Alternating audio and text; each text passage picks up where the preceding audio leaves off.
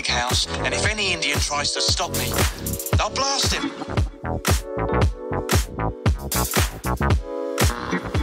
You know, the only thing more pathetic than Indians on TV is Indians watching Indians on TV.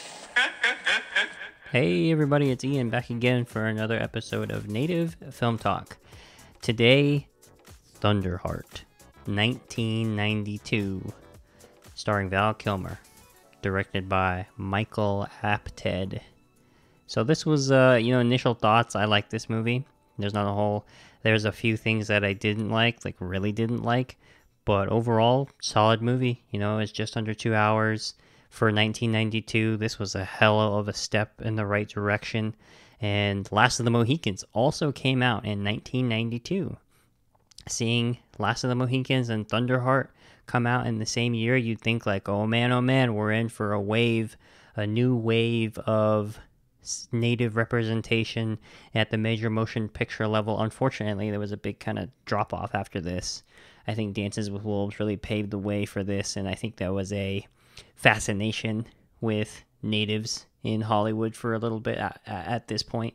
And uh, yeah, so thank thankfully Thunderheart was made.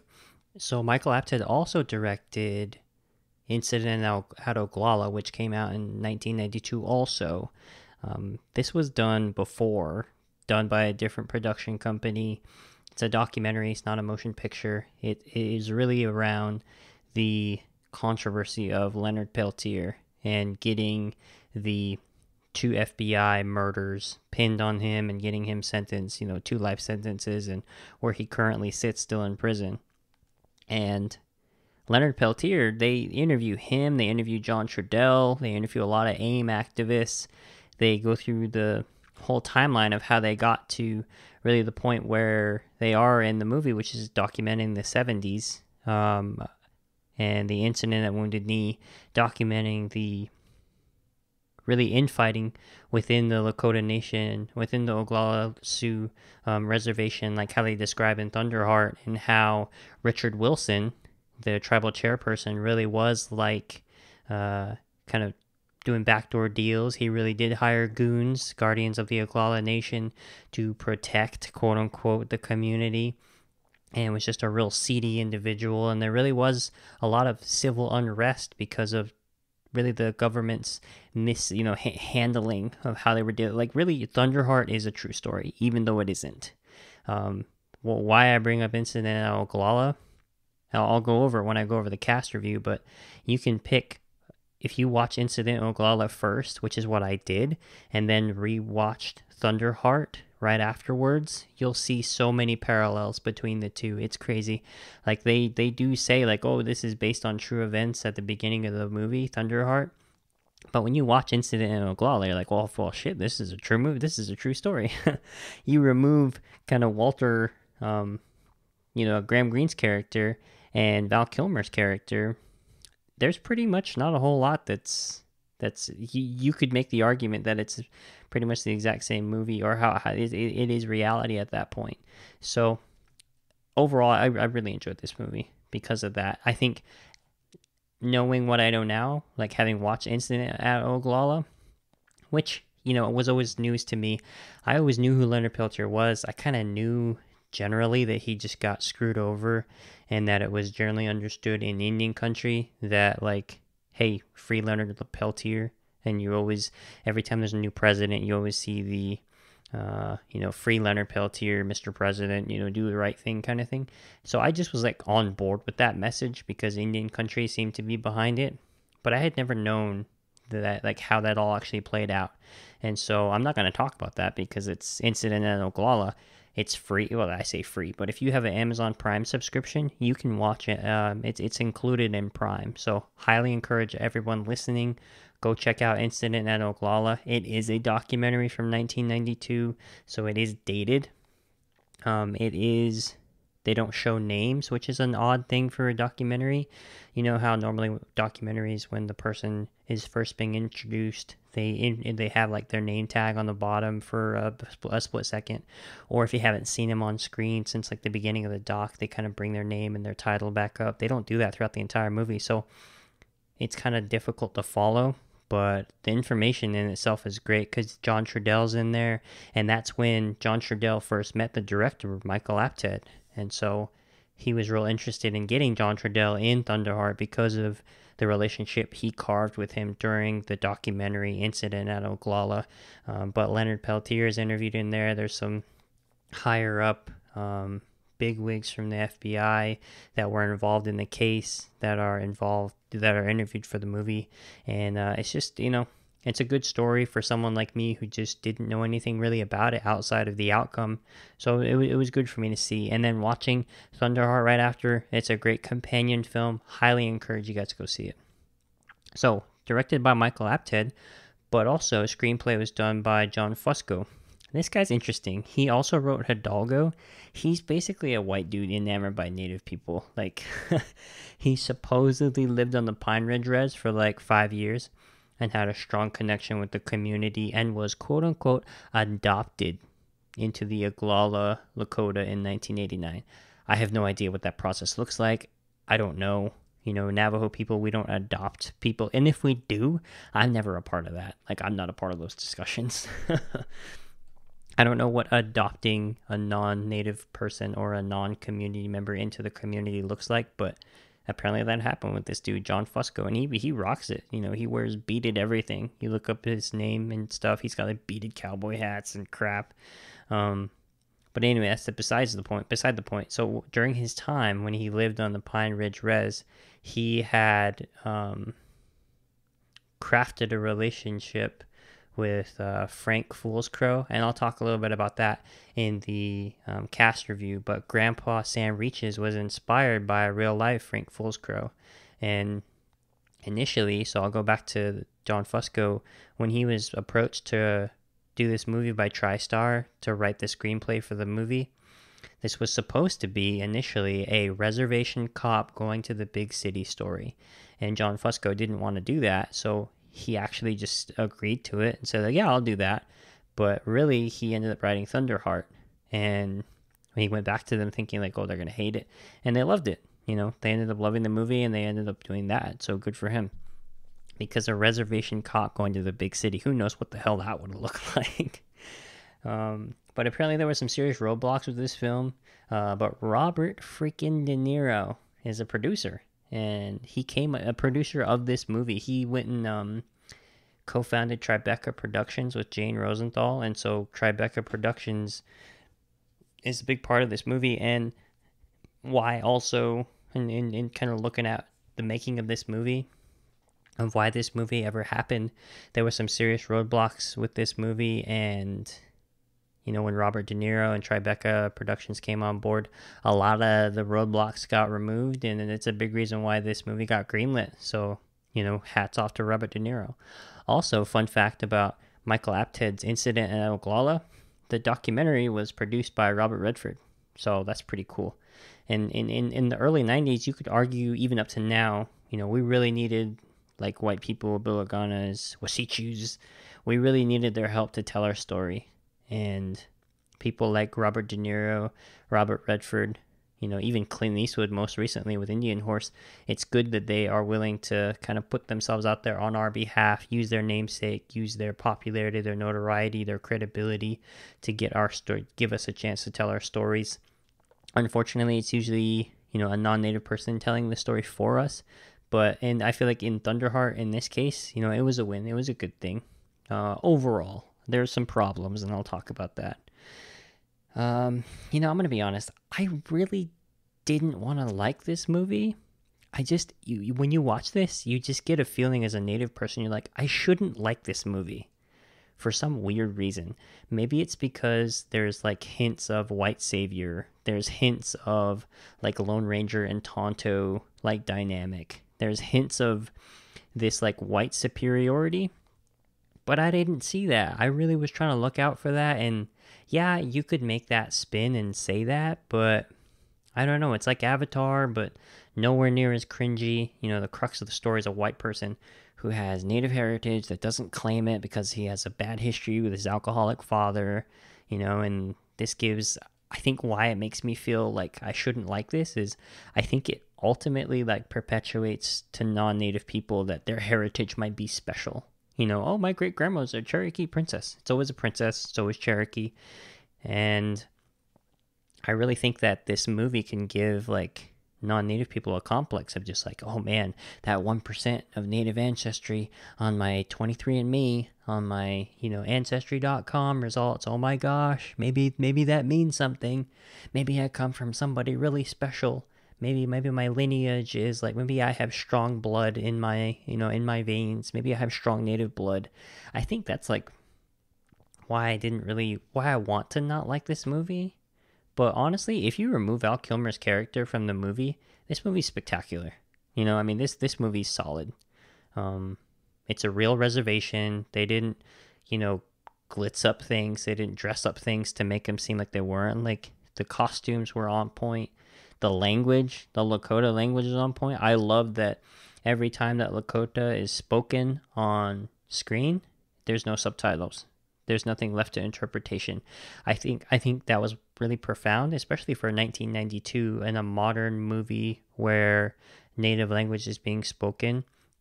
There's no subtitles. You have somebody else. In most cases, it's Graham Greene, John Trudell's character. So, like Jimmy Looks Twice and Walter Crowhorse, they're translating on behalf of Grandpa, or they're translating to somebody. They're explaining what they're saying to you, and that really is the outsider experience being non-native or a non-native speaker to them like there's no subtitles in real life they tell you what the hell is happening and i think i really appreciated that part of it that experience of and i think john fusco him being an outsider supposedly living on the pine ridge res i think he wrote that into his screenplay because that's what he had grown accustomed to being an outsider having that outside dialogue um, having that dialogue explained to him because he's an outsider. So i appreciated that. Ultimately this is really based on real people and i'll go over them in the cast review but arm like they they manipulated a few things like arm aboriginal rights movement. Um i mean it's just aim american indian movement. So they like didn't really do a good job there but uh yeah cast review. Let's get after it.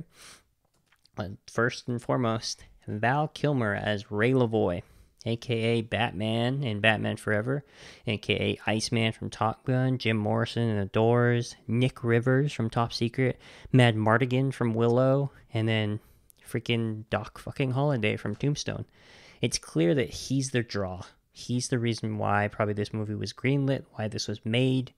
You know, Robert De Niro and Val Kilmer eventually craft like a, you know, they, they, they co-star in a movie later, three years later in Heat. So I think that they definitely he's the guy that put the butts in the seats. So you know what's interesting, he's not native, but he is a 132nd Cherokee and he really leans into it at times.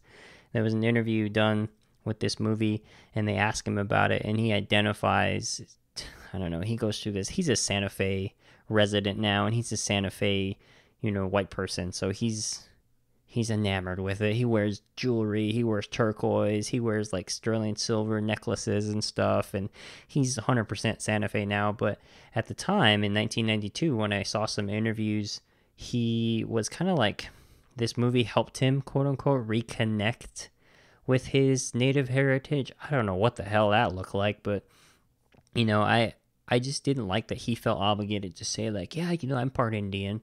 I'm part Indian. I you know my my dad's grandfather was Cherokee and yada yada yada. You know, I'm just like ugh, ugh. you know, he said, and, and I quote, "My father's grandmother was Cherokee. He was raised on reservation land in New Mexico for most of his youth, so I grew up with stories that were real life, romantic stories of the Wild West. A lot of the stories that my father told me that happened to him when he was a kid are quite vivid and got me interested in Indians. Does that sound like a guy who should be identifying as Native American? no, it doesn't. But he does, you know, now, at least like later in life, he definitely has said, like, yeah, I'm Native, blah, blah, blah. I don't know. It's whatever. So as a white guy playing Native um, which kind of works for the story though. Um, I think if you, you, modern if you recasted this movie today, you could have casted a light skinned native and you know made this movie. I think that would make this work. There's nothing wrong with the character and the story. It's just Val Kilmer himself. He's just a white guy playing uh, someone who's supposedly a quarter so Oglala Sioux in this movie, but I think that yeah, you could definitely if you remade Thunderheart and just put like a light skinned native in there, or even just like an ambiguously, you know, I, I don't know, someone who doesn't look on the nose native but is native, you recast them in this movie and boom, you're done. You know, you can you can redo this movie and it would be fantastic. Um, Sam Shepard is Frank Coutelle, who is uh, Ray Ray Levoi's boss. He's the FBI agent. Graham Greene is Walter Crowhorse. This is my favorite Graham Greene movie. Um, Graham Greene's character kills it. Walter Crowhorse is my favorite Graham Greene character, hands down. He really showed a lot of levity, levity for 1992. You know, he really challenged the notion, modern time notion, that we're Stoic Indians, that we're just quiet. You know, he showed that we can be a freaking wise ass. You know, I have so many uncles that are like him. There were so many just period pieces of us kind of cracking out of that shell, showing the humor, but nothing modern day. We were all just, you know, Fargo. We were all like Shep Proudfoot, just quiet, stoic. We were like Chief in One Flew Over the Cuckoo's Nest, don't say a damn word. And so Graham Greene really broke the mold and broke out of that, and I really appreciated that. It was awesome. Uh, Fred Ward as Jack Milton. I mostly know him from Tremors, you know, being Kevin Bacon's brother in the movie, and from uh, Escape from Alcatraz. But Fred Ward was supposed to be um, real life based on um, the tribal chairman from the incident at Oglala from you know the 1970s, Richard Wilson, and he definitely this should have been a native person too. You know, you recast, you redo this movie, this should be a Lakota person, because throughout the movie he drops and it sounds painful. and it's just cringy. I'm just like, ugh, that's, that's he's in Tremors and he's saying worst day. I'm like, what's wrong with? I don't know. They should have they should have casted a native guy. He's wearing hats with like beaded brims and stuff. I'm just like, ugh, or beaded bands around the hat. Um, and then Sheila Tousey as Maggie Eaglebear. This was her debut film. She killed it. I loved Maggie Eaglebear in this. Uh, Maggie Eaglebear, also based on a real life character, and you learn in the incident at Oglala that AIM activist Anna Marie Aquash, who is a school teacher, also who also had her son shot in a drive-by um, by goons, just like in the movie, just like in there, and then all just like in the movie, and Anna Marie, she was also murdered. So I'm not sure. I don't. It wasn't the exact same way, but obviously she was murdered, and it was to believe that we was connected to the goons. So, I mean, there's a lot of connections there. And then uh, Ted Thin Elk, aka Chief Ted Thin Elk, he is Grandpa Sam Reaches. This was also his debut film, and he was fantastic. He's probably my favorite character in the entire movie. Um, no, no, no. He is my second favorite. Walter Crowhorse, easily my favorite. And then Sam Reaches, Grandpa Sam Reaches. His character was inspired by the real life Frank Fool's Crow, basically just him. And Frank, Frank Fool's Crow was at Wounded Knee Massacre or was alive during that time. And so really Grandpa Sam Reaches is Frank's fool is Frank Fool's Crow. Who as I mentioned, John Fusco met and had a great you know, supposedly had a good relationship with him. And so Grandpa is essentially Frank Fool's Crow, basically. Um, so this is a fun fact. Uh, Frank Fool's Crow actually passed away before the film was greenlit in 1989. Frank, uh, he told John Fusco that like, hey, if you're making a movie about this, you know, just kind of being a wise ass native, he said that I want a, I want a big fat director chair that says Chief Fool's Crow on it. And when he heard about that movie, he was like, that's my only, that's my only wish. So I can sit there with my chair that says Chief Fool's Crow on it, and I can just sit there every single day and like watch everything happen. It's like that's my only wish. And unfortunately, he passed away before they started shooting, but during the shooting of the movie, every single day they honored him by placing a chair there and an empty chair on set every day, and it had a star quilt laid on it. And so that was like in honor of him. So they got to he he did get to have his own chair in a way. So that was pretty cool that they had a lot of respect for him. Just shows like John Fusco had a lot of reverence for him. And then the last character I'm going to go over, uh, John Trudell is Jimmy Looks Twice. This is essentially his actual character in real life. Like the same person that's interviewed in Incident at Oglala, it's it's John Trudell. I mean, um, I mean, this is really Leonard Peltier's story, but John Trudell is playing himself. You know, John was also a Vietnam veteran. He was also has burned an American flag at the FBI building, just like Jimmy looks twice. You know, that's one of his felony charges that they mention. Um, but John Trudell did this because his family died in a house fire. He had a pregnant wife and three kids. They all died in a house fire. And it's always been believed that the FBI set his house on fire, or they were the ones behind all of that. And so John Trudell afterwards, you know, went straight over the FBI building, burned the fucking American flag on, you know, in front of the building. Because if that's what you believe that the FBI did that, why why wouldn't you? You know. So Jimmy looks twice is basically you know the AIM leader activist Leonard Peltier. So they're trying to pin Leo Fast Elk's murder on him, but also the murder of like two other FBI agents before the movie, and um, that's essentially you know the real life story. Um, overall, though, the native representation in this is legit. There was over you know 200 uh, natives that were cast as you know extras in this movie, and that's a win. That's a freaking win. You know, I, I really think we were riding off the wave of Dances with Wolves, but fuck, I'll, I'll take it. At this point in 1992 like there were real natives in this you know people with long hair. There was no red face. There was no extensions. There was no war paint. It was just natives being natives. And they were on screen. They got real natives for this. And it felt really authentic. It felt really nice to see. And going back and watching this i was really expecting to see a lot of uh, stuff that I just misremembered, and I'm like, Ugh, how did I miss that? Or how did I? Why did I like that when I was younger? And I didn't see a whole lot of that, and I, I was pretty surprised. So let's go over the plot review. I'm gonna try to go through it, but I want to be thorough at the same time. That's kind of my thing is being thorough with the plot. So this might take a while because this was a two-hour movie, and and I try to focus on things in the plot that are like native related, and this entire movie is native related. um, okay, the movie opens up. This story was inspired by true events, by events that took place on several American Indian reservations during the 1970s. And then we have opening scene really with some ghost dancers, but most importantly, you see the murder of Leo Fast Elk at sunrise. So he's the reason why we have the FBI come to picture, come into the picture because we learn that uh, you know tribal police have no jurisdiction uh, during murders because that's a federal offense. And federal offenses need to be handled by the FBI, which is true. That still happens to this day. Um, then flash to uh, Val Kilmer in Washington, D.C. You know, he's an up and comer, he's a high performer, but we also learn that he's a legacy. You know, his, his, uh, not his biological father, but his dad's like a retired colonel. And you know, his super his superior calls him to the office in D.C. and it's like reading off his accolades. He's like, "Hey, you know, we we see that you're an up and comer. You're good to go. I'm looking over your family tree. You're Lithuanian, Scottish Irish, French, and American Indian. Sioux Indian, isn't it?" And of course, it's the FBI, so you know everything. Ray tries to lie and be like, "I don't know anything about that." You know, my father, I never knew him. And they're like, "Actually." He died when you were seven, and so he's trying to like lie as an FBI agent, which you're not supposed to do, but it's beside the point.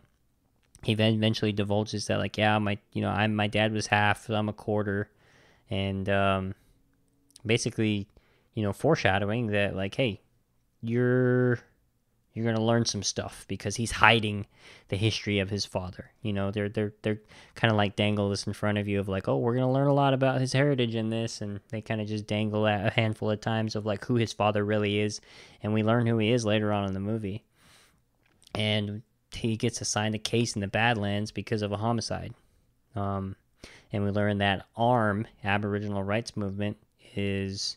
Uh, you know, this is a part of the civil unrest in the community because there's a civil war on the res between non-traditional natives and traditional natives, which is why there's so many murders. They're kind of saying that's why anyway. Um, and what's interesting is Ray asks because he's an FBI agent. He's like, "Okay, sounds good. What's my cover?" There isn't going to be any. And I quote from his superior: "You're going in there as who you are, an American Indian federal officer. I happen to believe with a Native American representative in there, we can diffuse the tension and improve relations. As long as our PR officers are disseminating information that we're sending the Indian Indians one of their own, nobody nobody's going to ask you to weave any baskets or make it rain. So he's off. Clearly, the white people have no idea what they're dealing with, including Ray Levoi. And at this point in the movie, Ray Levoi denies all Native American heritage. So they really want him to lean into this, being American Indian, being the token for the FBI, being the American Indian uh, FBI agent. And he's just like, I did, you know, I disown everything connected to that. Um, you know, so eventually he flies out there gets there. He gets picked up by his new boss for the assignment, Sam Shepard, who is Frank played, who is Frank Coutelle. So Frank Coutelle, you know, I will say this. This is one one gripe I had. I did notice this time around. Anytime there's a native moment, um, with Val Kilmer, I say a native moment. Anytime he's faced with native regalia, he's struggling with something. There's always like a flute or a drum ominous in the background. Um, when he lands at the airport, he's looking at this like native exhibit at the South Dakota airport. And it's just like a regalia kind of hung up under some glass. And you start to hear a flute letting you know like he's connecting. He's wondering what's going what's gonna happen. And he's wondering like I don't know, it's just kind of odd that that was like kind of a through line throughout the movie, but he links up with his uh, superior Frank, and he's been on the res for a while. You can tell. You know, Frank, aka Cooch, he's a hardened dude. He doesn't like the new guy because he's messing up his vibe. He's clearly got, you know, everything figured out. He doesn't need some hotshot new guy. You know, he tells him, You come up here is like pissing in the wind. He's not happy that he's there. And then enter the poverty porn. This is where I didn't like it. So Frank takes Ray back to the res, and they're driving into the Badlands. And there's this, you know, as soon as they get there, coming into the res. You know, Bear Creek Reservation sign. It's turned over on its side. It's not even sticking in the ground anymore. You're driving on a dirt road. There's res kids playing in the dirt. And they're basically like, look at this. The third world country, slap dag in the middle of America. Used to be all theirs on up into Canada. This is what they got left with them. And Kilmer just has this like moment where he just like says under his breath, like, Jesus you know, setting the tone that these people are poor. Look at these poor Indians. And uh, I think this is different for some people. It's going to be different for people because I was born and raised on the res. Um, I mean, granted, it's Navajo res, not, you know, the res that they shot on, not Oglala. But it just looked like home, you know? I mean, there's, it's definitely a rougher part of my town. My, my town doesn't look like that. The entire town doesn't look like that. I mean, I grew up in a double wide trailer just like everybody else. and there were these like kind of makeshift shacks that you see and people that you know just live in these homes forever and they just add additions and it just kind of looks disheveled from the outside but when you watch it again it's just like nobody's panhandling you know these two outsiders frank and ray they're like jesus look at this third world country but nobody's like sick nobody's like looks hungry. Everyone's just chilling. They're just playing in the street. They're just like watching like the hell these white people doing here, driving by real slow, looking at us kind of thing.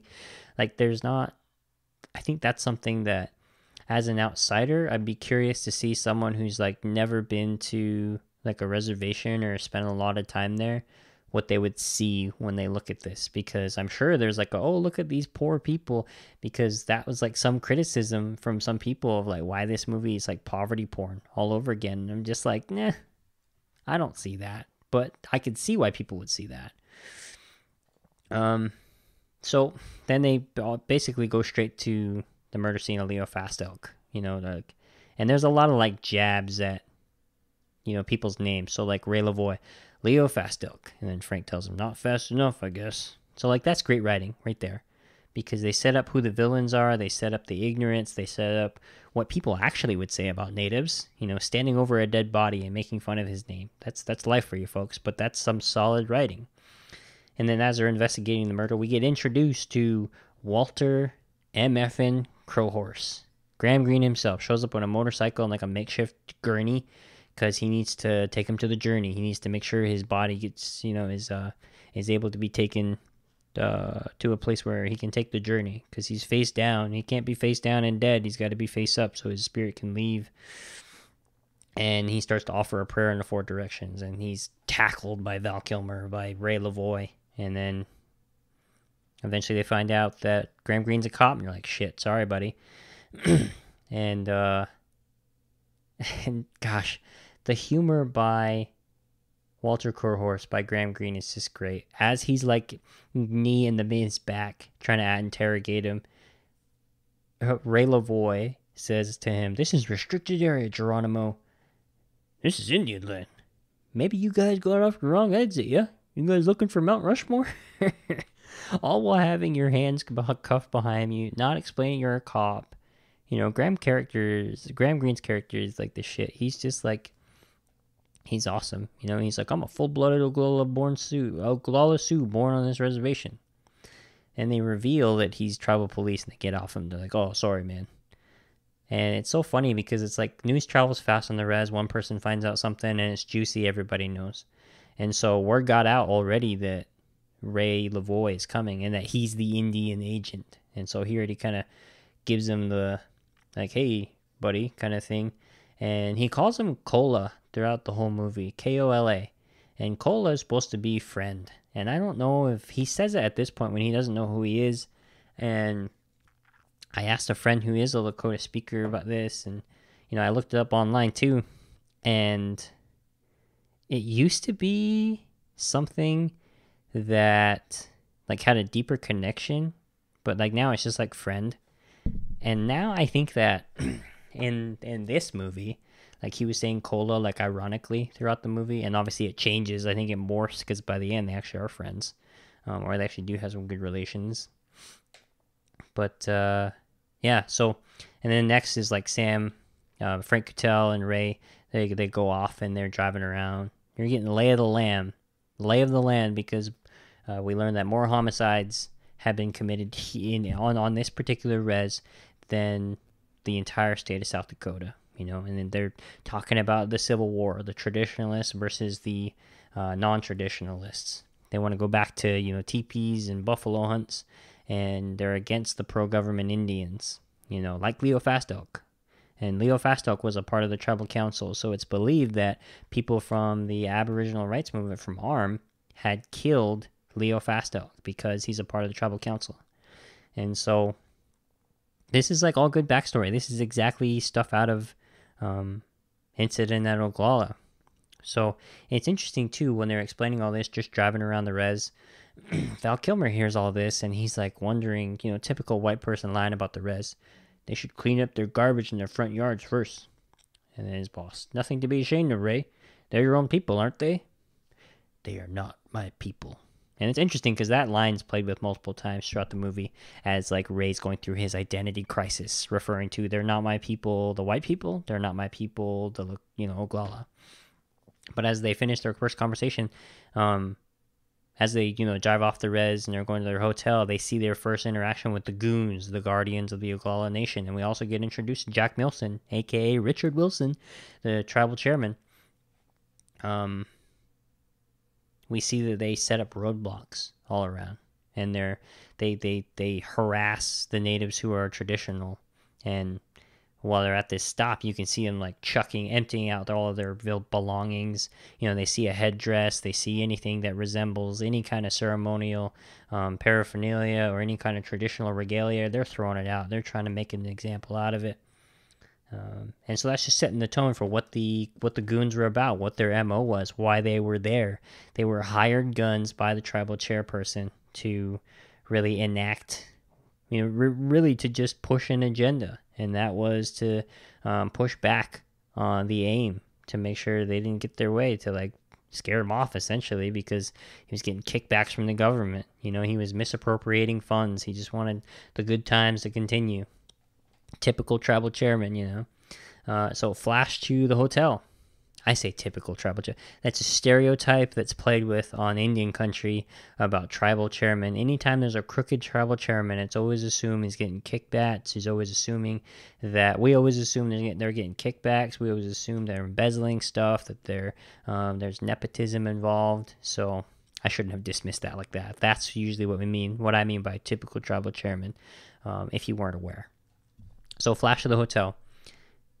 Then they get educated kind of about the other ARM members. They learn about Maggie Eaglebear and Jimmy looks twice, and they're saying like, "Hey, he did." This is where they say he burned an American flag on the steps of the FBI building, and uh, yeah, so they plan to ambush Jimmy and arrest him. So that's where they're plotting this. And then they go after him. The next day they go after him in the middle of a sweat. So he's in a sweat. Um, they open the flap of the sweat sweat lodge. You know, armed to the teeth. You know, shotguns and assault rifles, and they f- lift the flap open. And and so I love this scene because this is an authentic ass sweat lodge. This isn't no Sedona sweat lodge kind of thing. You know this is a goddamn like sweat lodge because there's a blanket over the front. it's a freaking blanket over the front as the flap. Like that's that's what you know. I'm Navajo. Our sweat lodges are probably a tad different, but it's the same thing. I love that he was using a pitchfork to carry the coals. That's what we use, just regular pitchfork. You know, more coals back into the inside. Um I like it. You know, in the in the past, I'm sure you had some kind of like hide or skin, like buckskin or buffalo, like they did in the movies. But this is modern day. You just get a thick ass blanket and you put it over the front. I thought that was awesome. Uh, my only problem with the scene is probably it's it's it's wishy washy of like whether it's a problematic. Everybody comes out of the sweat lodge of the sweat with towels on. Nobody goes in with a towel. Are you kidding me? As they're like, all right, everyone, come out holding guns, all them all at gunpoint. Everyone walks out with a towel. No, you're supposed to be walking out like butt ass naked, or in just in your chonies, or if you're Navajo, you go in bare ass with or just your string, and that's just a Navajo thing. But you know, don't ask me what the string's for. If you're really interested, Google Navajo sweat lodge string. There you go. Um, but all the times I've been in a sweat, that's what it's like. You just put like pitchfork hot coals, and you know you appreciate I, I appreciated this scene. It's a throwaway scene in the movie, but it's a legit sweat lodge scene, and I love that Jimmy looks twice. He's pissed at him because he's like, "Hey," he said, "This is a spiritual ceremony. You're desecrating. We're in the middle of an Inipi ceremony. Do you drag people from their churches while they're praying?" And this is so powerful. One because it's delivered by John freaking Trudell, and this is the truth. There's such reverence in churches, and, and, and even in cinema. Um, I don't know if it's like this in real life, how much of this is sensationalized in the movies. But there's always like a scene in cop movies or movies where there's a bust of some kind, some kind of mafia or mob member or criminal is sitting in a church. They'll wait till the service is over. They won't go and interrupt the service. They won't say, hey, preacher, you know, hey, reverend, I'm going to, you know, arrest these people. They always wait because they have like respect for the church, they have respect for the, the arena so they don't do that. They'll wait till they file out after church. Then they'll arrest them in the parking lot, you know. Um, but, you know, native ceremonies, we can interrupt that. That stuff's not real. We don't acknowledge that. So I, I really like that they address that. There's a lot of stuff in this movie that um, really gets explained. And I, you know, it, while it's off putting to you as a native person, like they address it, like this one. Like, had they just arrested him and John Trudell, Jimmy didn't have that line, I think I would have had a problem with it. But Jimmy's like, hey, man, this is a freaking ceremony. Why are you interrupting this? This is sacred. So the next scene, they're, they're trying to get Jimmy to go back to his apartment. I'm sorry, back to his house to basically just, uh, you know, just search the house. So they take him back to this, like, I, I say I guess, just kind of like a government funded, you know, housing program. And they're just like, all right, you know, we're gonna kick the door down. He's like, can't kick the door down. You know, uh, the goons just came and did that last week. You know, just I got a I got a key under the coffee can and a coffee can under the stairs. You know, just reach in there and grab it. So he tricks, um, he tricks uh, Frank Coutelle to uh, Cooch to dig his hand under the stairs, and it's really a badger pit. He digs his hand there, gets bit by a badger, gives him an opportunity to flee, and he does. So the FBI, you know, starts firing a bunch of things. But before he does, he does this awesome thing that, uh, you know, John Trudell has his hands, Jimmy has his hands uh, handcuffed behind him, and he runs full speed. And he's running, running, running. Steps, jumps on top of a hood of a car, and jumps really high in the air. And while he's in midair, he takes his hands that are tied behind his back, tucks it, and somehow like tucks his knees into his chest and gets his arms and wrists under his shoes, and then is able to have his handcuffed hands in front of him. And I always thought that was so badass. Like he, I can't tell you how many times I tried that as a as a kid. I would use like hay string or plastic handcuffs, like cheap toy handcuffs. I have like so many scabs on my face and stuff because that's that's really hard. it's really hard to do. Um, so I thought that was cool. Anyway, uh, so the FBI they you know fire a bunch of shots at Jimmy, and this is like the first thing uh, that first time we learned that Jimmy's a shapeshifter. It's only alluded to, of course, because they got him cornered in this like travel trailer, and they light this thing up, and and then he turns into a deer of what we can imagine because if they open it up they just find the feather that was in his hair and that's it. And there's another door in the travel trailer that was used and he jumps over a fence. So this is the first time that i've ever seen shape-shifting done this casually there's no goddamn like werewolf transformations. You know, there's they just say he's a shapeshifter and it's done. And because it's uh in the community and everybody understands it, there's no reverence around it of just like, oh, he's a shapeshifter. Uh, and they just make it casual of like, yeah, people do that. People are like that. But I will say this. As Navajo, I would never tell an outsider that someone's a shapeshifter, even if I knew we call them Yana Galoshis. Like, I would never tell someone that someone's a Yana. One, you're not supposed to because it's like, that's a witchcraft. I don't know what shapeshifting is like in other native tribes because it's all different, but I just wouldn't tell that to somebody. Because Maggie Eagle Bear eventually tells Ray Levoi that, like, yeah, you know, Jimmy, oh, he's a shapeshifter. I'm just like, this is an FBI officer. You're going to say that? You know, you went to Dartmouth. You're smart. Don't tell him that. The hell's wrong with you? You're, you're he's gonna think you're crazy. I just I just didn't like that. That was like one thing like in the writing I'm just like you really don't understand it, do you? Like you think you know, but you really don't know. Because you just you wouldn't explain it too. Like you would just kind of allude to it and like leave it alone because that's like powerful shit. You don't talk about that kind of stuff.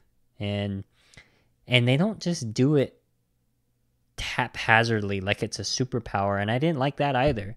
Like normally that kind of stuff is there's like ceremony around that. There's like powerful there's powerful magic at work. There's powerful things that you need to have in in order to do that. Like it's not just like a oh Jimmy's a shapeshifter. He went now now he has that ability on command for the rest of time. Like it doesn't work like that. And that's kind of it's kind of what it's made out to be in this and you know and I'm not an expert by any means. I'm just going off of my experience, my you know oral traditions my my stories about all this like this is there's usually a lot of preparation done to do something like that. And in this movie it's just like oh you know here's my magic decoder ring or here's my utility belt. Thank god i got that shapeshifter skill down you know and i'm going to turn into a deer and jump over this fence. I'm going to turn into a bird because i want to fly today. It's not it, it, that's romanticized. I didn't like that part. Um, but i did say i thought it was cool that they included it in here like that was pretty awesome. And it wasn't sensationalized to that degree where it's like it's got to be a werewolf transformation, you know. Um, so anyway, I'll keep going. So Ray and the FBI are just standing by, and good old Walter Crowhorse, you know. I, eventually, um, where was I? Okay, so after this, uh, you know, Badger incident, after the shapeshifting incident, the goons and everyone, they're looking for Jimmy. So now the search is on for Jimmy, and they're wondering what the hell's going on. And so they, they, they really they ransack the town looking for Jimmy. People's houses. They go through the school, and that's where we kind of meet Maggie Eagle Bear for the first time because she's a teacher there. And then we see Walter Crowhorse. He drives on by and flips off Ray Levoi. And so Ray's like, "What the hell is he going?" So he follows him, and we learn that Walter is basically like a really intelligent cop. He's like a Sherlock Holmes kind of guy because he really knows what happened. You know, even though it's he's out of his jurisdiction, he tells Ray he tells Ray, Leo wasn't killed here, man. He was dumped here out of a car, bald, tread, muffler held on with baling wire. 19 and 60 Chevrolet, blue and white. Leo's own car. It's still missing. I love the detail on that though muffler hanging on with baling wire.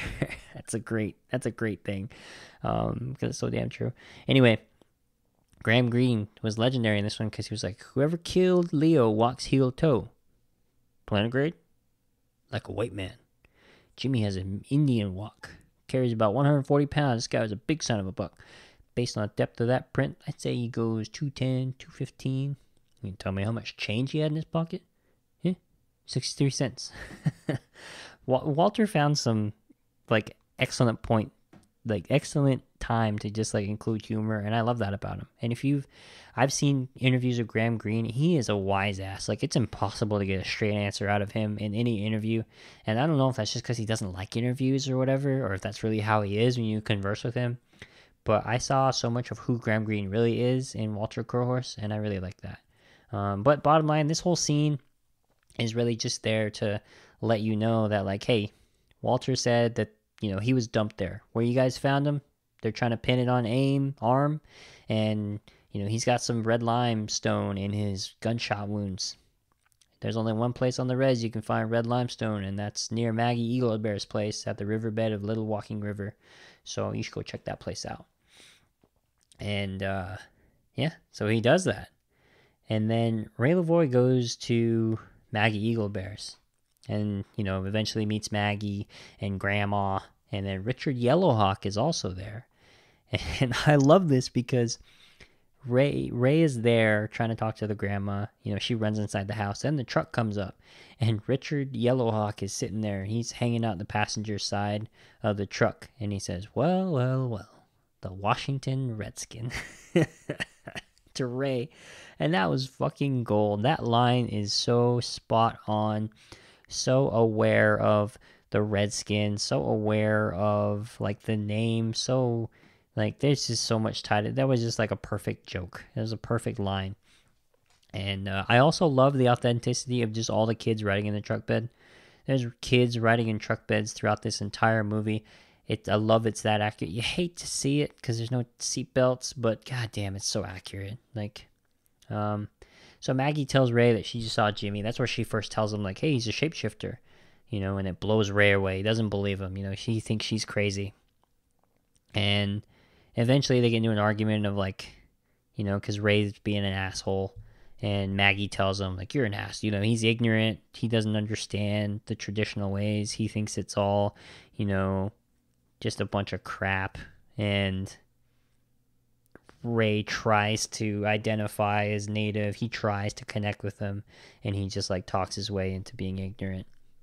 And then Maggie's like, "You asshole! You know, I went to spent four years at Dartmouth. You know, she went to Dartmouth. She knows her rights. She's not gonna let Ray push her around." And then they end the argument. And Ray has his first encounter with a mirage of ghost dancers off in the distance. So this happens throughout the movie, but really it's just showing that he's special, that he has some kind of connection to the land, to the people. So then flash to the bar that night, you know, Ray is with his boss writing the statement about what happened. They're lying about the Badger incident. And then Frank gets told by Ray, like, hey, you know, I'm, I'm, I'm on a hot tip right now about uh, Maggie Eagle Bear. You know, I found a gun casing near the riverbed, not near where, we, where we found the Leo Fast Elk. And he's like, what the hell's going on? How'd you find that? He's trying to discredit, you know, oh, the tribal cop told me, Walter Crowhorse. He's like, you watch out for him, man. He just dicks us around. He's not out there to help us. He's not real law enforcement kind of thing. So that's where we kind of learn that like Frank, the FBI, and the tribal police, they don't get along. They don't trust each other, and you know he's like, we got to get some tape. You know, if you're gonna go there talking to Maggie Eagle Bear, you need to record that. You know, it's no longer in and out. You're gonna be eating fried bread and dog soup for many moons to come, Ray. You know, now get the fuck out there and get the traditionalists talking. They're hiding him. He wants them to get on tape that because Maggie Eaglebear is an ARM member, she wants her to like divulge where Jimmy is and just get it done, get it done because they all already convinced that Jimmy had done it, so they just want to catch him and pin the murders on him. Um, then like somebody throws a Molotov cocktail into the bar. It's a white bar, and uh, you know you can surmise that it's an ARM member trying to spook everybody, and uh, yeah. So the next day, Ray's out to find Maggie again when he gets pulled over by Frank. And I love this scene because Walter pulls him over and he gives him a line about, well, first of all, he pulls him over for going 59 and a 55. And then as he gets out of his vehicle, his squad car, he's walking over to Ray's car. You see this truck coming down, and Ray, or I'm sorry, Walter acknowledges it, like, hey, you know. And there's like three kids in the back seat of the truck, which is a major violation, which is more like of a shitty thing to do than be four miles over the speed limit. But you know, it's whatever. I think this is like the essence of the res. I love that. Um, but uh, yeah, he pulls him over and he's just like, all right, let me see the radar. And Walter's like, I don't need no radar. I can just tell. Just listen to the wind. He said, 59, nail him. um, but then he get, he reveals like, hey, I, I pulled you over because Grandpa Sam Reach's old man wants to talk to you. So they venture over to his trailer and I love this because it's such a res house. You know, you got every ride this man's ever known, sitting ever owned, sitting out front. Like that's such a res thing to do. It's just a junkyard of rides, a rundown travel trailer. That's a res home, and it's just like home. You know, I loved it. Um, and then they bring up like, hey, you got to bring offer some tobacco when you talk to an elder. And Ray, that's like news to Ray, and so they eventually do that. Um, there's some education like that where they kind of drop these in there like when you talk to an elder you got to use tobacco. When you do this you got to do this. And so i i kind of like that. I was just like subtly trying to educate the crowd. That was pretty cool. But when they make it in there i love it that the grandpa is just watching mr magoo just watching cartoons. That's such a grandpa like elder thing to do. Um and he this is cool because in this scene grandpa sam reaches speaks to him in lakota He's just 100% Lakota, and then and then Graham Greene, Walter Crowhorse translates the entire thing, and it's pretty cool. Like they, you know, he kind of pulls the wool over his eyes, gets him to trade, um, you know, uh, Ray Levoi's or Ray Bans for basically just a, you know, seemingly just a generic rock. There's nothing significant about it, but but what was cool in this scene is he brings out this rattle that's 500 years old, his turtle rattle. And he said, like, my grandfather, grandfather, grandfather had this thing. So it's a very special rattle. It's very old. And he starts rattling it. And then he basically starts to reveal why he wants Ray to come because this. He's like, I knew you were coming. I knew who you are before you even got here because I had a vision describing like who that you were gonna come and who you are. And so he starts shaking that rattle. He starts describing like Ray Levoi as a kid you know, saying when he was young that, uh, you know, he, he basically started ignoring his dad, and his dad was trying to pick him up from school one time, and you know he ignored him, and so you can see that that um, that off of Ray Val Kilmer's reactions, that's like he's like, oh shit, like this is real, you know, of like I don't like this. He really knows something that I that that nobody knows that I don't tell to anybody, and then Ray leaves, he's pissed, you know. And Graham Greene tells Walter Crowhorse tells Ray, he's like, the old man saw an owl last week. So what? The owl is a messenger. It means somebody's going to die. The owl told him about Leo. The owl told him about Leo? He also said, listen to the water. Listen to the water. Listen to the owl. He also said, don't trust Mr. Magoo. He said you're chasing the wrong man. Jimmy didn't do it. So, at this point, Grandpa Sam Reaches has information that like nobody has. He's basically saying like I knew all this was going to happen, you know, basically being the elder. But also saying like educating the movie watchers of like owls are bad omens. And it's like that in, in, in Navajo culture too. Like you see owls, they're messengers of death. They're messengers of bad things. You know, when we see them, we go check on family members, close friends, make sure everything's okay. Usually they have some kind of like prayer done. That's why like you don't give owl figurines to Navajos or Native Americans. Um, yeah, you shouldn't do that. But uh, so Ray goes back to Maggie Eaglebear's place.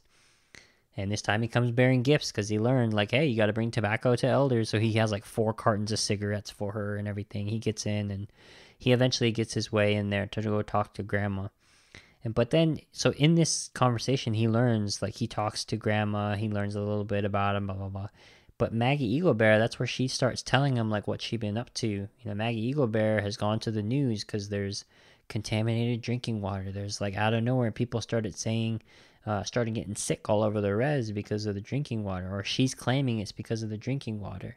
And then she like drops this like heaping pile of like unsolved deaths, saying there's been like 60ish deaths of the, uh, you know, armed people, American Indian Movement, Amer, uh, you know, the uh, ARM, and they're all unsolved murders, you know? Be an FBI agent, freaking cheap guy. Like, you come in here asking for us all this, you won't help us out with that. You know, like do something, help us out. You say you're here to help, help. Um, and then she's mentioning too, like what really was happening at the time. Richard Wilson, aka Jack Milton, in the movie. You know, he's misappropriating child funds away or tribal funds away from the schools and the health programs. So clearly, clearly Maggie's like really involved in the community. And so later on, she ends up being killed because it's no surprise that she got targeted because of how much she knows, what she does. You know, she's uh, she's got a lot going on. And why this is important is while they're talking, you know, gunfire erupts in the house. Goons light up the house. Everyone's okay except for the son. The son gets shot in the arm when he was trying to reach for his toy. So they make him to the hospital. You know, he ends up being okay. Um, take him to a crowded IHS. You know, this writer clearly understands the health conditions, the health care facilities on the res. Um, but, you know, back to incident at Oglala, this actually happened, except I, you know, there was a woman with, you know, uh, as I said, Anna Aquash, Anna, Anna Mae Aquash, like she actually had this happen to her son in the movie, and it was done by goons. And so Ray Levoi sees goons kind of just sitting out because at this point you can tell that the goons are trying to get get after Maggie um, because they end up killing her in the movie. Later on, that drive-by was for Maggie. They want to get rid of Maggie Eaglebear. She's no good. She's on to what they're. She's going down the trail of revealing what they're really about. So they try to take her out. So they're hanging out outside the hospital. Ray Levoi like starts to go out there and beat the shit out of some goons and then he's called off by Frank and Jack Milton, who they're riding together. So clearly they got some kind of connection. And uh yeah. So it's really like shows like the futility of like, hey, tribal chairman's like in tight with the FBI. Tribal police don't even have a relationship with the FBI that that that's positive in any way. So after this, race placed on assignment at Grandpa's place at the and um they're still trying to figure out like okay everyone goes to grandpa from aim from arm everyone goes to grandpa. So hang out there. Jimmy's bound to turn up. And so the next day he follows walter and grandpa to a powwow. And walter's convinced that he knows who he killed who killed leo fast elk ray's trying to help him out. And i love that walter and ray like there's a lot of education there you know, because Ray's like, you know, that there's there's scum out there that killed Leo Fast Elk. We need to find out who that is. And Walter says that scum is an enemy of the United States. You know, Ray, when we were kids, we used to play cowboys and Indians.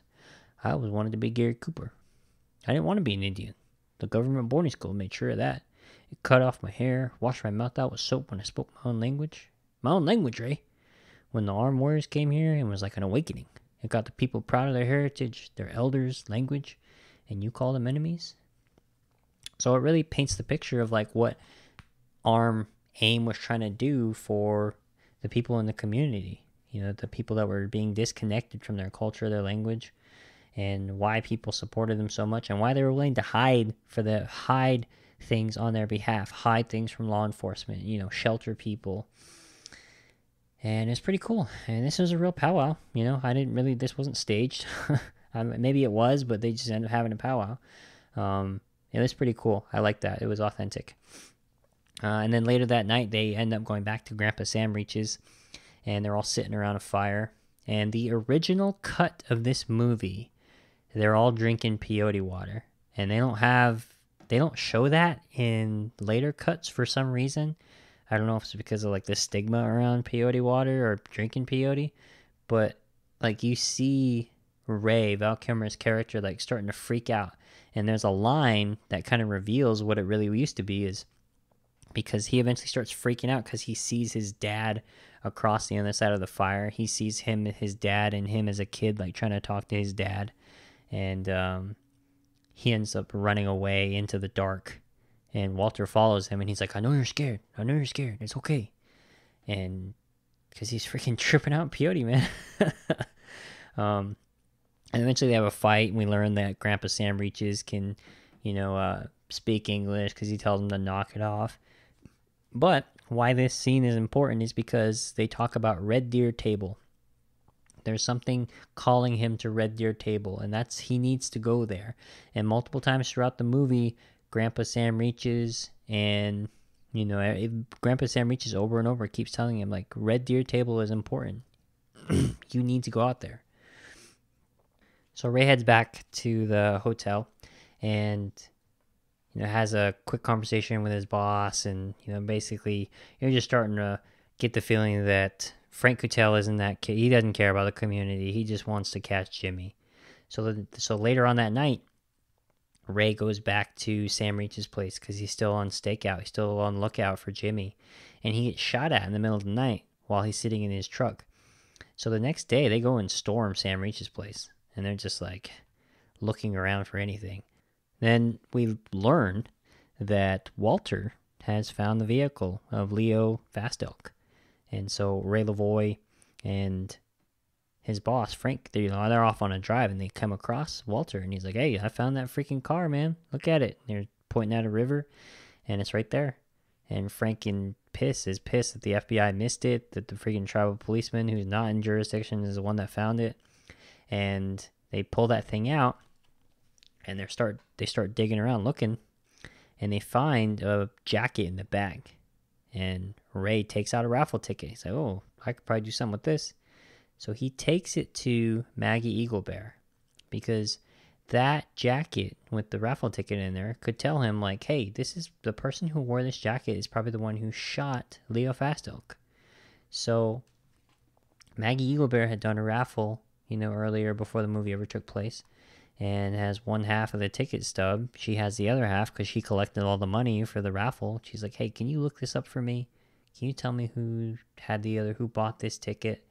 Because that'll tell me probably who's the one that killed Ray or who killed Leo Fast Elk. That'll help me out. And she reluctantly agrees eventually. But this conversation is important because we learn about Ray's father. We learn that he knew him pretty well, that he drank himself to death. It sounds like he was a hell of an iron worker, you know. Um, but after this, Ray goes to the Wounded Knee Burial Grounds. And this is important because he has a vision of being at the Wounded Knee Massacre. He runs, you know, he immediately looking at the burial uh, memorial grounds, he sees a U.S. cavalry soldier on horseback, you know, running toward him, galloping toward him. And this part was cool because as he's running over the hill, like you see other natives, like mostly women and children, because that's who were massacred primarily in at Wounded Knee. You see them running alongside Ray, and they're all in like period appropriate attire. And so eventually he gets shot in the back and he wakes up in like a cold sweat. Then heads to Grandpa's house because he's like, shit, I gotta go see Grandpa because this is crazy. You know, I, I, I need some answers as to why this is happening. And then he arrives at Grandpa's house, and who's there? Freaking Jimmy looks twice. You know, Jimmy's like, "Why aren't you at Red Deer table?" Like the old man says. You know, Ray's like, "You you need to get out of here, man, before they get the hell out of here, before they kill you. And then the famous, famous Jimmy Looks Twice line. Sometimes they have to kill us. They have to kill us. Because they can't break our spirit. Freaking chills. Chills. Um, so Jimmy and Grandpa are, are, you know, like you we we know you saw some shit. We know you have a we know you had a vision. You need to go to Red Deer Table. Like the spirits are calling you out there. So Ray's now intrigued. He gets it. They're about to, you know, and and Ray Levoi's just like he's torn. He's like, do I get out of here? Do I arrest Jimmy? What the hell do I do? So he's starting to like turn now to the other side because then Jimmy says, we choose the right to be who we are. We know the difference of reality of freedom and the illusion of freedom. There's a way to live with the earth, and there's a way not to live with the earth. We choose the way of the earth. And then the out of nowhere, the FBI comes out of nowhere, freaking raids the place, takes away Jimmy in a helicopter, like in no time. That's the last we ever see of John Trudell. And then uh, in this movie, and then in the process, they smash Grandpa's five-year-old rat, 500-year-old rattle with no reverence. You know, just basically exemplifying these white people don't give a shit about these people, about the Lakota or Oglala. Um, the goons show up with Fred Ward. You know, he drops the painful uh, "worst day." um, so at this point, really the the case is wrapped up. They're like, good, we got our guy. Jimmy looks twice. He we're gonna pin the murders on him. It's over. It's a wrap. Good job. See ya. Go back to DC. So Ray is about to go and back to his hotel, but Grandpa is sitting in his vehicle. and he tells them is the this is where we learn why this movie is called Thunderheart. This is why we learn ultimately why Val Kilmer is in this movie is because just like Frank Fools Crow, Grandpa Sam Reaches was a one year old during the one knee, Wounded Knee massacre. You know, they shot 300 Lakota. And he said during that, Wakayanchante, aka Thunderheart, was killed during the running for the stronghold. And that's where the movie ends, is the stronghold. That's why he goes there, because of this story that Grandpa Sam Reaches tells him. And then we learn that's who Ray gets his blood from. That's who he's a descendant of. And he tells him, Thunderheart, the spirits told him that Thunderheart was sent back in the form of you to help the people heal. That's what he was told. So then he tells him, Run for the stronghold, Thunderheart. Run. The soldiers are coming. So at this point, like Ray's got conviction. He's a he's a believer. He goes back to the burial grounds and he just wants to like confirm. He finds a headstone yeah, with a bunch of names on it of people who were killed at Wounded Knee. And sure enough, Thunderheart's one of those names, you know? And so he's just like, oh, God, this is real. This is real. Old man's not, you know, not blowing smoke. He's, he's no joke. Um, so Ray goes back to his room to get ready to pack. And then he finds that Maggie Eagle Bear had sent him a letter. And he opens it up, and it's the other half of the raffle stub. And then we find out that that is um, Richard Yellowhawk went and bought that. So Richard Red Yellowhawk is the one who was a well, well, well, the Washington Redskin. Um, you know, he's wheelchair bound in this movie. And we also learn that he cut a plea deal because there's a do not file mugshot that he finds in the FBI files when he looks up Richard Yellowhawk. So, just as he's about to leave his hotel room, he hears some rustling in the bathroom. And this is important because he goes into the bathroom and there's an owl. He sees an owl in the window seal. And the owl takes off. And what's the owl? Harbinger of death. It's a messenger of death. So that was a pretty cool way to like circle back that, uh, you know, or call back to the education of what owls are. You know, really kind of making it come full circle. I, I really enjoyed that. Um, so Ray goes over to Richard Yellowhawk's place, and this is a res looking house. I love the, authentic- the authenticity of this. Just a wood stove right in the middle of it. Like you can tell this was real. They didn't build this for the movie. this was a real res home. Um, so he confronts him and he's like, Richard, I know you took a plea deal, you know, and you helped out so and so. What's really going on? You know, you're the one that killed Leo Fast Elk. And then we learn that Richard Yellowhawk well, one isn't really in a wheelchair. He's kind of faking it, so he stands up. So he's that big 210, 215 dude that uh, Walter Crowhorse was talking about. But we also learned that Frank Coutelle, who is Ray's boss, is the one that set up the whole plea deal. You know, he's like, yeah, he's the one that gave me the guns to kill Leo Fast Elk. And at this point, Ray's like, shit, my boss is involved with all this. The FBI is involved behind all these murder, all these murders. So then he leaves. And then Ray later, right immediately after that, takes off with Walter Crowhorse. They finally go to Red Deer Table. They go to this place because they're like, hey, this whole movie, this whole time they're telling me to go to Red Deer Table. I'm going to finally go. And then Ray tells him about his vision about running with the people during the Wounded Knee Massacre. And Walter is fucking pissed. And I quote, You were running with the old ones at the knee? You know, just before they caught Jimmy, you know, that's all I'll read this one. yeah, because Ray Ray tells him just before they caught Jimmy, I had a dream. I was running with other Indians at the Wounded Knee Cemetery. I was shot in the back. And then Walter looks at him. You were running with the old ones at the knee? It was just a dream. Who the hell are you, man? What do you mean? You had yourself a vision. A man waits a long time to have a vision, and he may go his whole life without having one. And then along comes some instant Indian with a fucking Rolex and a brand new pair of shoes, a goddamn FBI to top it all off, has himself a vision. And I like this because I think the movie would be less than had, had this not been addressed. For a native person, you truly would be pissed if somebody who is a distant native, who is native by blood, but not by like connection to the community, connection to the land or language, and they're the ones that are selected, pinpointed by the ancestors to have these visions. But the truth is, this wouldn't happen. I mean, who knows? This this is like the one percent of the one percent. Like, there's this is so unlikely. It technically is possible, I guess, but it's just like, ugh, I don't know. Why this is important is Graham Greene's reaction is legit. That's how natives would feel. Just like, are you fucking kidding me? You know, some some dude that's never like lived the struggle, some dude that doesn't know the language, some dude that doesn't even know like what his clans are. You know, if you're Navajo anyway, like doesn't have any connection, doesn't know like where his grandma's house is, like never lived on the res. He's the one that gets to have a connection to the old ones, to the Wounded Knee massacre. He gets he's the one that's selected by the spirits. He's the one that's Thunderheart reincarnate. So it really is like that. That that being pissed off is real genuine, and I I like that. So once they go to Red Deer Table, that they see they see why this is important, why that why they keep getting called there, why the water's contaminated. The government is test drilling for uranium, and Fred, the tribal chairman, he's getting kickbacks from the government, which is why he hires the goons to keep the traditionalists pacified, and that's why the water was getting contaminated. And that's why Maggie Eagle Bear going and telling the news about the contamination was bad news. That's why they killed her and they do find her there at Red Deer Table. They find her dead body. Um, and then so Ray goes back to uh, Richard Yellowhawk's place the next morning because they're like, oh shit, oh shit, you know, this is really starting to come together. We really got to do something.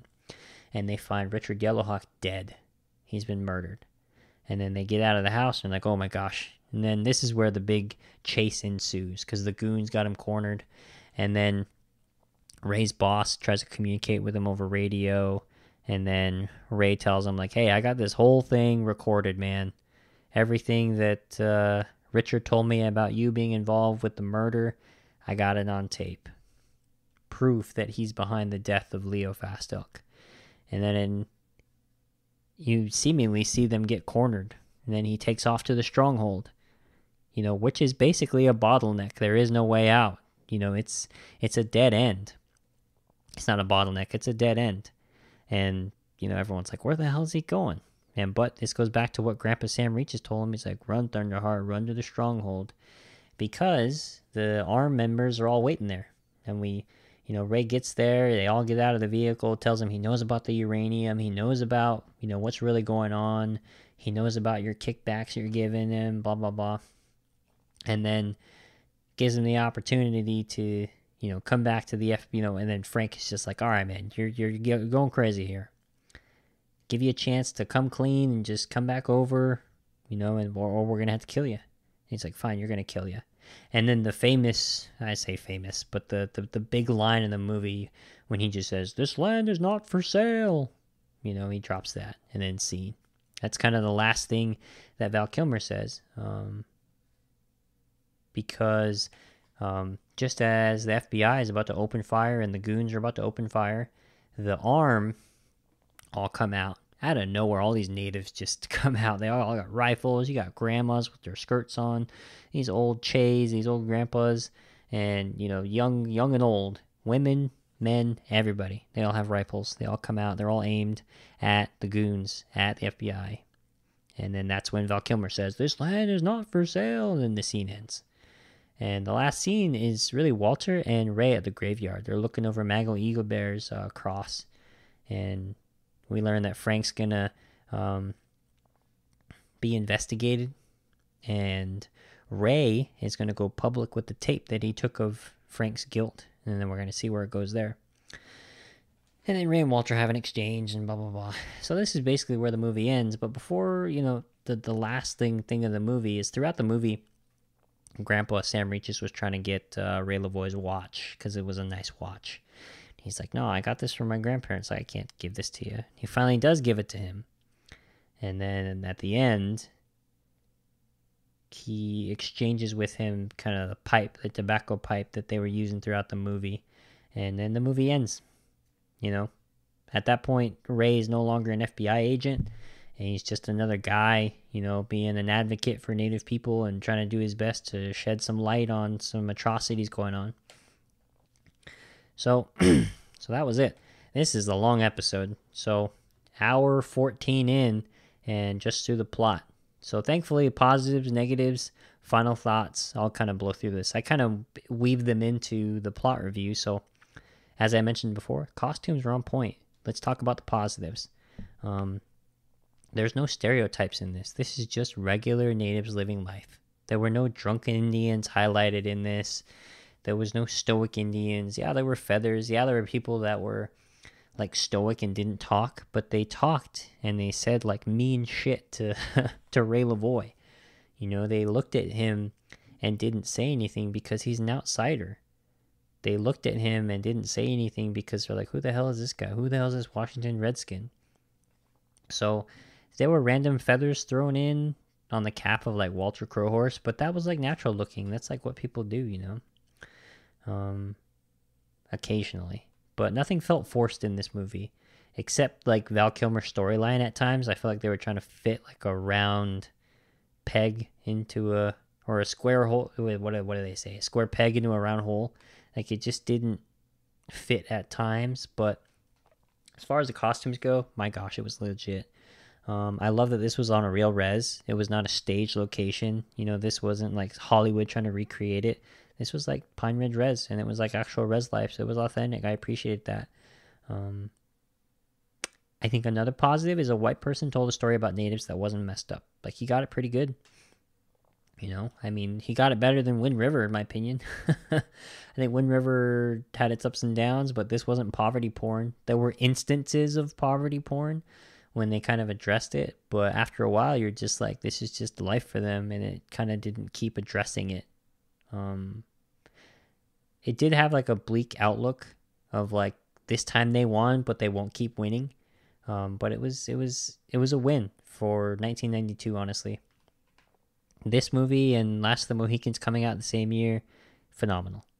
You know, um, I also love that they addressed. You know, I said that it would be problematic if it really happened in real life, of uh, distant kind of native being selected by the creator, by the ancestors, by the spirits to be somebody special, the people who actually live in the community would be fucking furious because you're like, why would I want an outsider to come help me?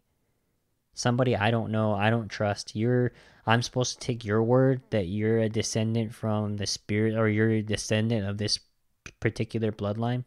So they use like Grandpa Sam Reaches to be someone in the community they respect, to be the the person that vouches for him. And I love that they address it of like Val Kilmer being the chosen one, quote unquote, like pisses everybody off. You know, everyone's like the fucking Washington Redskins, the chosen one. I like that they address that. And my favorite part about this is the humor, Walter Crowhorse, and just the lines. You know, it's the best thing about the movie. The writing got it on point, captures the reality of res life, and just I don't know. I really I love it. You know. I love it. Just just solid. Negatives. Um, you know, I feel like Walter was an awesome character. He was an awesome police officer, but he was the shit until like Ray Levoi came around, and maybe it was like he had to be, he had to succumb to the jurisdiction issue. But I felt like at times he really was like second fiddle, and he shouldn't have been because he knows the land better than the white cops. He knows the community better than the white cops. He probably would have gotten more information from Grandpa before from Sam Reaches, but you know, I guess that's nit- nitpicky. But um, the I definitely see the Lone Ranger and Tonto dynamic, but this is technically more like Tonto and Tonto, more like Tonto and Tonto from uh, Smoke Signals. Anyway, um, I get it, like Val Kilmer's not really native, but it's technically a native and a native thing. So I don't know. I but my biggest negative with this, honestly, is pretendians. This movie will make non-native people, specifically white people, feel like ancestry is enough to be connected. Because all you need is someone in your past that was native. Maybe they were a Cherokee princess. Maybe they were a chief maybe they were someone important because Tagashada, you know, Tagashada, you know, sent them. I'm I have I have serious like Indian bloodlines. My my bloodlines have strong medicine.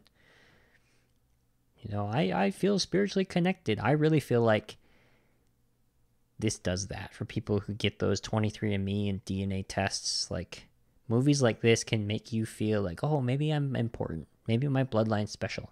Yeah, it's distant. Yeah, I'm only 3% or 4%, but maybe it's really special. It's just like, Jesus, man.